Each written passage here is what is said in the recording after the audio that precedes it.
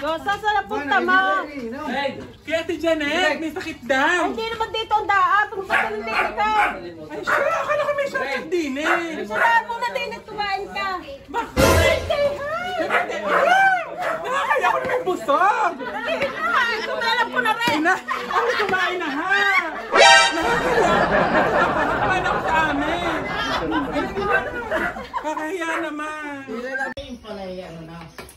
Ina, nakakahiya ako na may busog. At ako yung nagdadayet. Nakakahiya naman. Ay, siya nakakain na nga. Eh, diet niya. Kinuha niya. Ayan, hindi na basta pamumula. Tingnan niyo naman spaghetti, parang maputla. Maputla, kulang sa dugo. At saka ang pansit. Ina, hindi naman sa pamumula talaga, hindi na mauulit. Kulang sa atay. Oo nga, walang lahok na atay. At saka yung Shanghai, parang hindi pa inilalabas. Mamaya pa yata. Na, parang hindi na mauulit sa kain ng ari. A few moments later. Na, kaya alis na. Wala namang masyadong lasa. Ay, salamat ha, kaya alis na. Hoy, hindi naman dyan ang daan! Hindi ang daan! Ay, nag-text na, magaling naman na daw Ate Janet. Oo, salamat. Magaling naman na daw.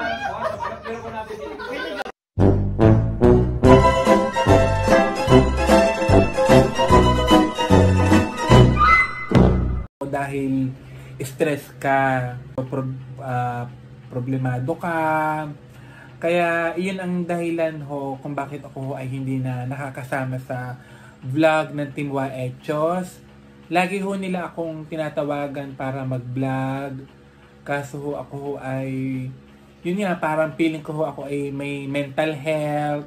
Gawa ho ng, sa dami ng iniisip ko. Tsaka that time ako ho ay lutang. Ako ay parang madaming iniisip. Kaya parang feeling ko ho, wala naman akong maiko-contribute. Minsan ho, ang iniisip ko kung bakit ako ay nawala ng ganang kumain noon, bukod ho sa stress ako o di kaya ay nervous ako, ay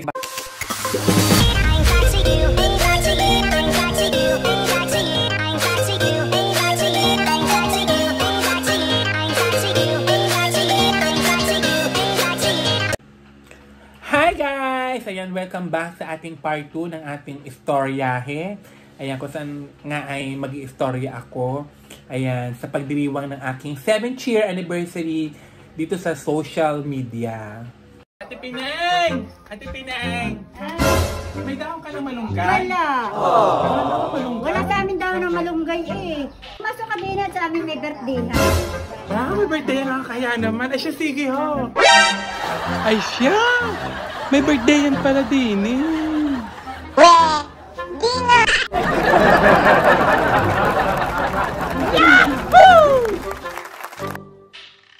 Ako naman ihihingi lang ng malunggay.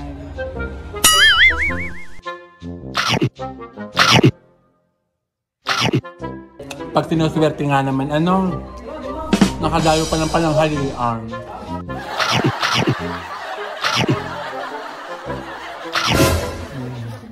Diyos ko, tama na aring. Okay na aring balot kong aring. Salamat! Nagkikinig!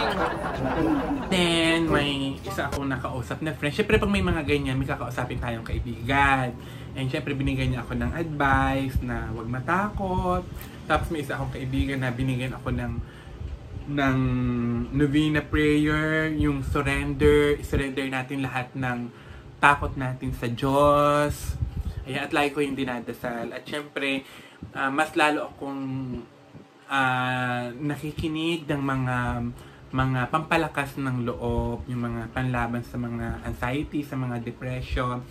Lagi-lagi naman, ako naman ay nagsisimba, ako naman ay lagi ding nagdadasal at na nakikinig ng mga ano yung mga ng mga religious religious ano ano tawag doon? Basta kung ano mang mga religious na mapanood ko eh kaso talagang nung time na yun ay inatake talaga ako ng nervyos. At ngayon po ayan! Mayo na June na totally nawala na po siya. Hindi naman siya nawala. Hindi naman siya nawala. Alam ko, ito, dahil nga sadya naman ako nervyoso ng bata pa. Pero napaglabanan, napag, nalagpasan, at alam ko na marami pa, marami pang problemang dadating, marami pang pagsubok, pero mas napalapit na tayo sa Diyos at lagi niya nga ipinapangako sa atin na na hindi man mawala ang ating mga problema o hindi man mawala itong nervyos na ito, eh ang Diyos naman ay lagi na andyan, hindi niya tayo pababayaan. Kung hindi man yan mawala, eh tutulungan niya tayo na labanan o malagpasan ang mga pagsubok na ating pinagdadaanan. Sabi nga nila, yung daw mga komedyante, akala mo lang daw masasaya ang mga yan, Ah, pero sila daw yung maraming problema, Yes, totoo naman, naniniwala naman ako doon. Pero ang paniniwala ko naman ay lahat tayong nabubuhay ay may problema. Dahil kung walang problema, ay patay na tayo. At yan po ang gusto kong i-share sa inyo na ayun po, pag po may problema tayo, lagi po tayo magdadasal. Ah, makinig po tayo ng mga magagandang homily. Kahit ano pong religion natin, yung mga homily po ng mga nagpipreach sa inyo, yung mga nagpapalakas ng loob. Maganda po yung pakinggan. Iyon po yung mga nag, nagpalakas din sa akin para malagpasan itong ay itong uh, ano nervous ko at saka yung anxiety na dumating sa akin noong noong April. At lagi nating surrender sa Diyos lahat ng mga worries natin, mga problema natin. Alam nyo kapag ka ikaw ay may problema, mag-search ka lang talaga. Ngayon ang dami ng social media. May TikTok, may YouTube, may Facebook, kung saan ka makakabasa o makakapakinig ng mga ng mga salita na mag uplift sa iyo. At yan ang naranasan ko po noon. Lagi lang akong na, na kikinig ng mga ng mga words of wisdom, ng mga payo, sa tunay ho talaga, ako ho ay hindi sakiting tao. Yun nga lang ho, ay talagang naging nervyoso. Baka sa ko ng kape. Hindi naman, hindi ako naniniwala doon. Eh, iniisip ko na lang na ibinigay ito sa atin ng, ng Diyos.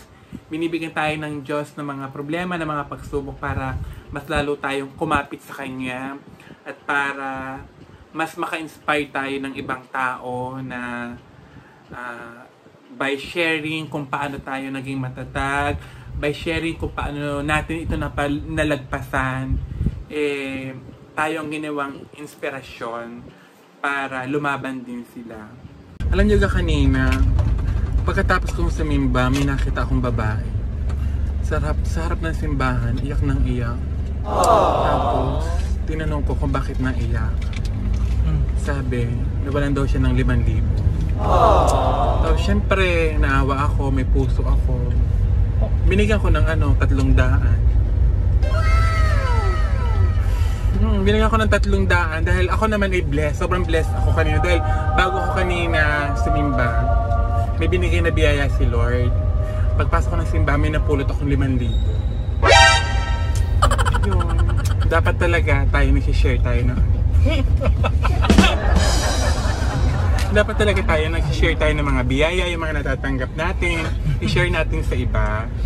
Huwag tayong maging madamo. Total may blessing ako na natanggap kanina. So, shinare ko sa babae na iyan.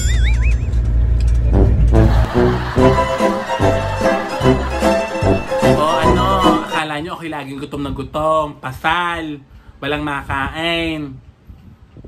Pero sa totoo lang talaga nung mga panahon na yan, ako ay, yun nga, tinamaan ako ng nervyos, ng anxiety.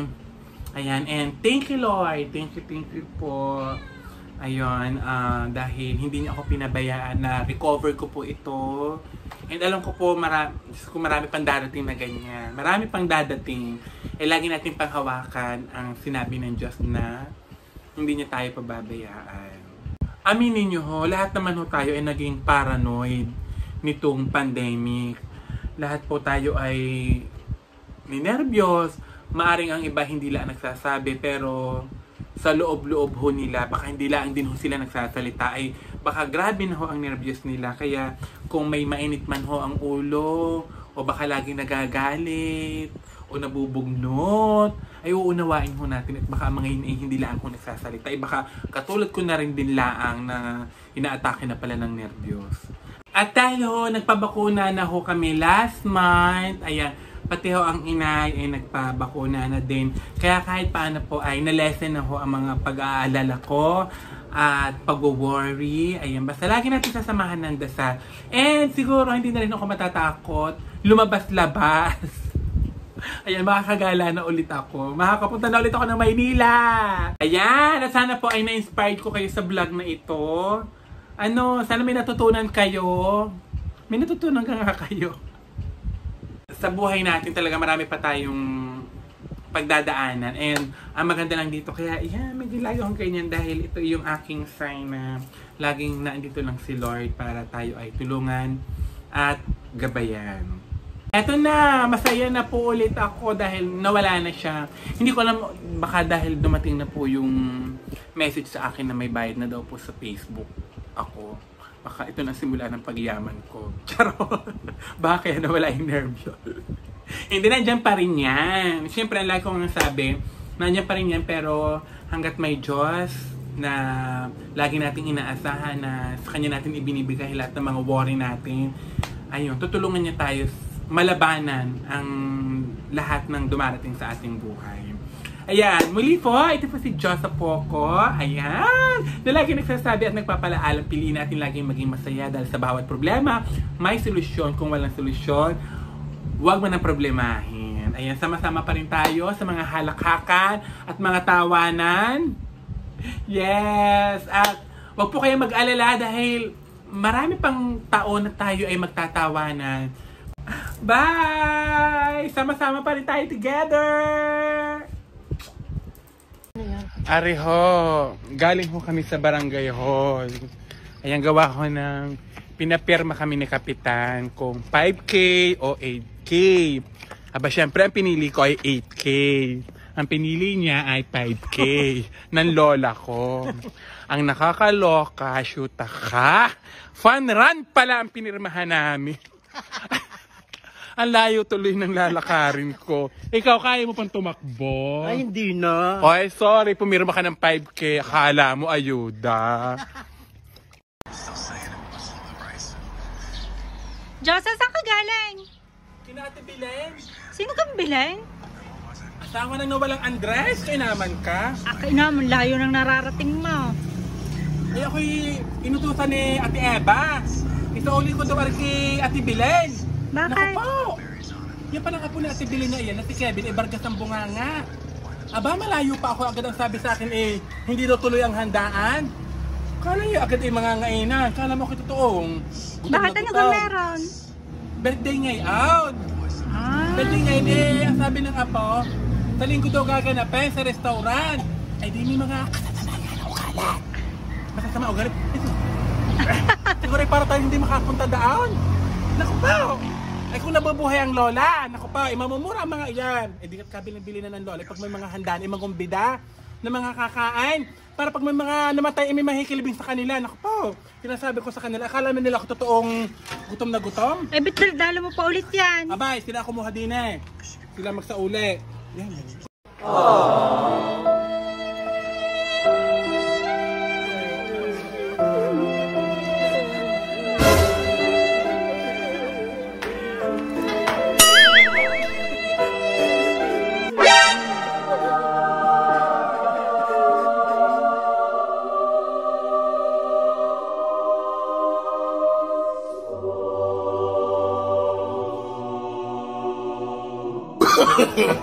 no, no, no, no.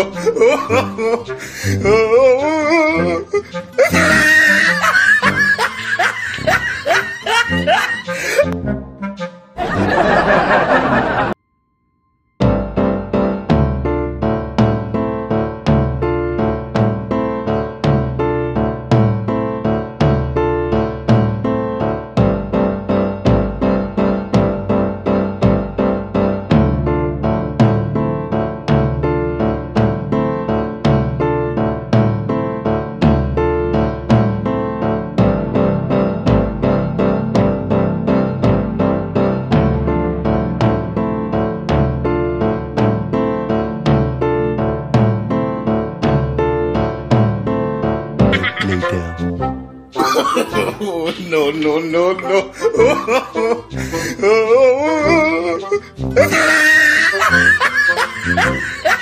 oh,